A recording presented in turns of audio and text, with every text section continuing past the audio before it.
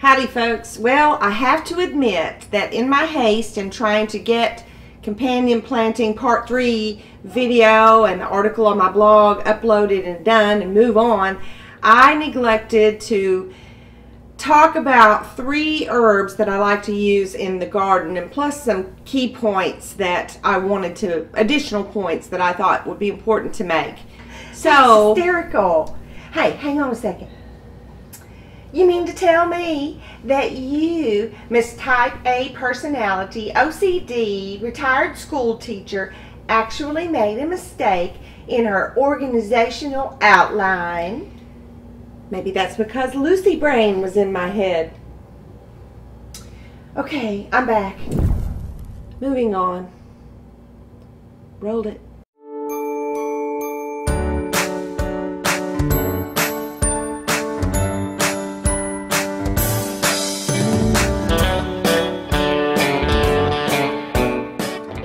First up, borage. Borage is one of my favorites. It is an annual, but it will self-seed if you leave it in place. You want to plant it in its own container. It's going to get two to three feet tall with several branching stems, um, usually about 12, 14 inches wide or more at the top, and it flowers a beautiful purpley flower. It does not like wet feet, so again, it doesn't need to sit in water. Now, what are the benefits of borage? Number one, it repels many garden pests, along with the tomato hornworms and cabbage worms. Number two, it improves the flavor and growth of companion plants if interplanted with them. Now we'll pause right here and say again, it needs to be in its own container when you're doing container gardening. If you were doing in-ground, um, regular garden beds or raised bed, then I would consider interplanting borage. Number three, it attracts beneficial insects, especially bees and parasitic wasps. Number four, borage leaves are known to contain potassium, calcium, and vitamin C. The older, larger fading leaves make nice mulch for almost any vegetable. Number five, the borage plant material is also a rich contributor of nutrients and bulk for a compost bin. And number six, fermenting the leaves in water for about two weeks, then straining the solids makes an excellent organic fertilizer. This borage solution can be kept for several months and you dilute it uh, one part of your borage fertilizer to 10 parts water. The companion plants for borage are the tomato, strawberries, cabbage, and squash. I have found no foes in my research for borage. The second herb is hyssop. It is a perennial. Interestingly, it's a member of the mint family, but unlike most mints, it's a well-behaved plant. And it's perfect for containers if you let them just grow and clump in a container. Now, hyssop also prefers to dry out completely. Unlike other mints, it does not like wet feet. So you let the soil completely dry before giving it a very thorough drink. The benefits of hyssop, number one, it attracts bees, butterflies, and hummingbirds. Two, it repels cabbage moths and cabbage butterflies. And three, it is said to stimulate the growth of grapes. Companion plants for hyssop, plant near cabbage and all of the cole crops. Again, I have found no foes in my research for hyssop. And the third herb is yarrow. It is a perennial. Now, it too likes dry conditions, so it is perfect for container growing.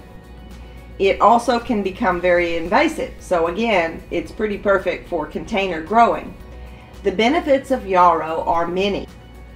Number one, yarrow attracts beneficial insects and pollinators look at the list, such as lacewings, parasitic wasps, ground beetles, spiders, ladybugs, and hoverflies.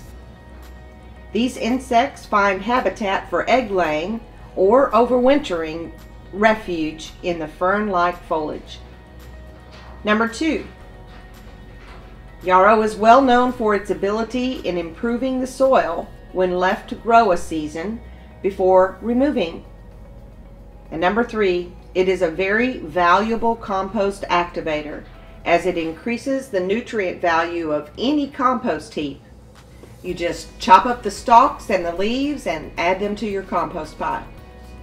Companion plants for yarrow are the brassicas, tomatoes, melons, beans, and spinach. And again, I have found no foes for yarrow. I will say though that it is considered pretty invasive, so you have to keep it cut back. To continue with the points on um, companion planting with herbs, um, number five, I had given you four before. Number five would be to really study each herb plant that you are putting into your garden. Know how to prepare it for the winter. Most all of the herbs, if left in place, will drop their seeds and uh, can become invasive growing where you don't intend for them to grow. Keeping them pruned is really key. Number six, when interplanting herbs with other herbs or flowers in the same container, you need to consider uh, first the size and the growth patterns of each herb. Uh, secondly, don't intermix herbs that where some of them like to have very wet and moist soil with ones that like to be dry.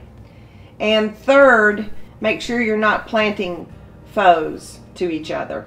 I have a few more points that you can read in the blog article, but the main, uh, the other main one that I wanted to cover in the video is giving you some suggestions on what to do with your perennial herbs, maybe when you're tired of them or um, they've outgrown their containers. So let's go over a few of those possibilities. As I've said before, keeping them pruned is key. But even doing that, there are some after about three to five years that just need replacing. Rosemary being one, for example. A lot of these herbs, the recommendation in the maintenance area is to divide them, uh, usually in the spring. But if you'll just check the maintenance section on each of the herbs in the article, it'll it'll give you su suggestions there. But you could always pot them up in a larger container you could always actually kind of create a, a, whole herb garden, either in a raised bed or in um, a really huge container. In fact, I have right here, this is a grow bag that Larry sent me last year. He wanted me to do a video with it, and it is 150 gallons. I mean, the thing is enormous. Really and truly enormous. I don't know if you can see how big in the camera, but it's it's like four feet long and four feet wide. So, I think a 150 gallon grow bag might make a pretty good herb garden for a ton of herbs and flowers and the third most exciting one I wanted to really point I wanted to make um, was if you grow fruit trees, you could consider transplanting some of these herbs underneath your fruit trees. I don't know if you've ever heard of something called a fruit tree guild. But the concept of a fruit tree guild is you have your central element being your fruit tree or a nut tree, but we're talking about fruit trees right now. And you underplant it with a variety of things that might normally be found naturally planted together. And they all offer benefits to the fruit tree.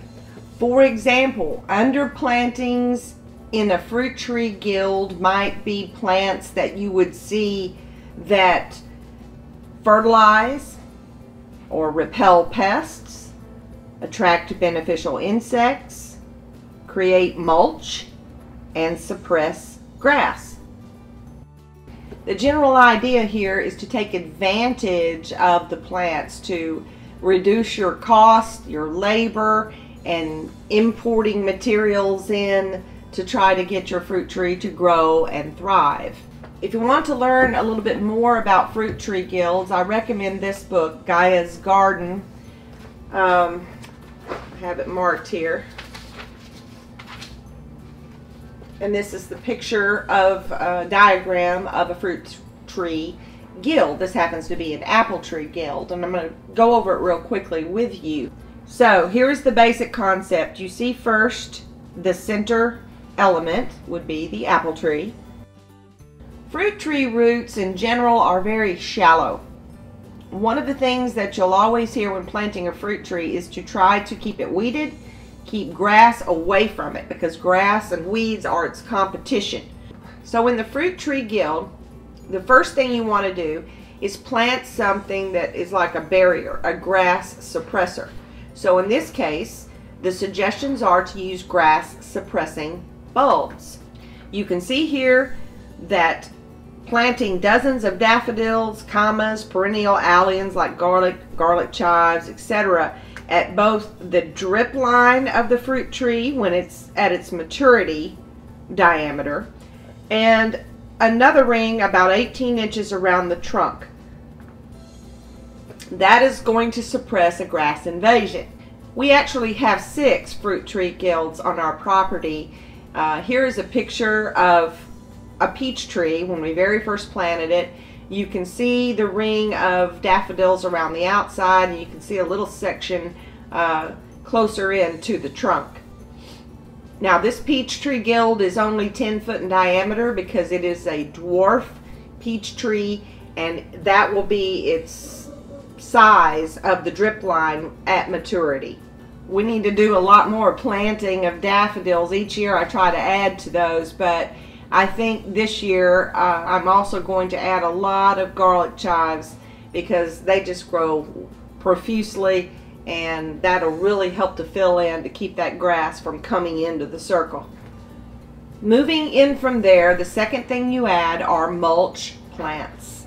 You can see here in the diagram a broken circle of just a few mulch plants. Some examples would be comfrey, artichoke, ferns, rhubarb, nasturtiums, dwarf yarrow, wild strawberry, and reeds. Now this next one is where I'm really thinking about transplanting those herbs that you either don't want in the garden anymore or they're a little bit large or they need dividing this would be where you might do it. And that's in number three, the nutrient accumulators. So take a look here.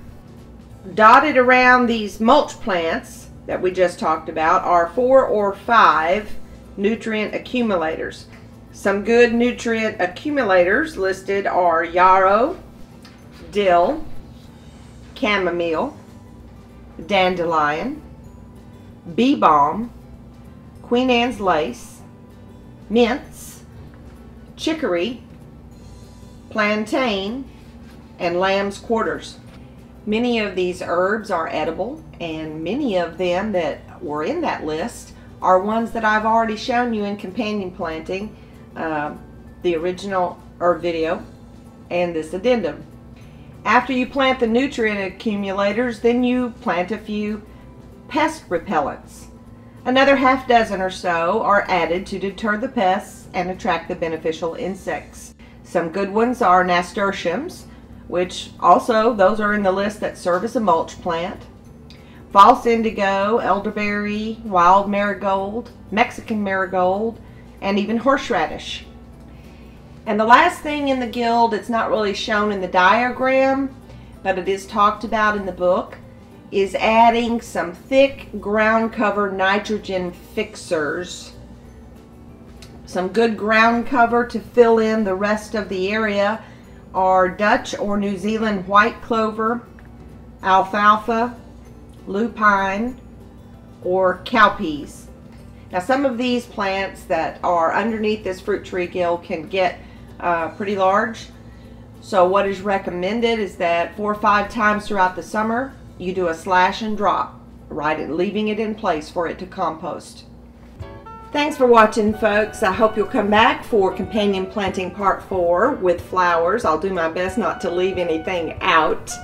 And remember, bye and have a good one. You again. Oh, whatever. They like What? me better. Mr. Farmer Brown likes me better. Does not. He does. yeah, I make him laugh. Hey, You don't. I cook food. I cook food. Yeah. I cook food. fire three times. Three times. Three times. And you put it Yes, out. Yes, I put it out. You caught them on fire. You caught the pans on fire three times in the kitchen. La-di-da, la-di-da. You are so wrong. I'm organized, but I'm fun.